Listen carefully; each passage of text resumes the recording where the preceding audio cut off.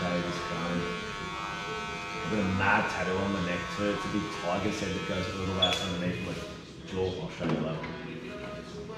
I was noticing that the other day. You actually got a few tattoos, eh? Yeah, it's like a big symmetrical sick, tiger's head that goes all the way up to there.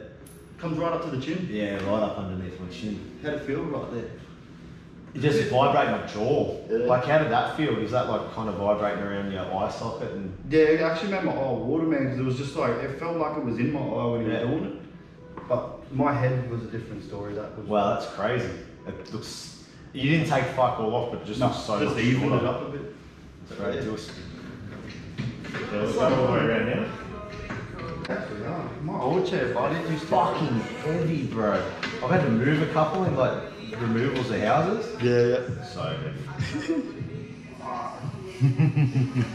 Mad. Fuck, I thought it was a photo, bro. I was like smiling for the photo. Smile for the photo.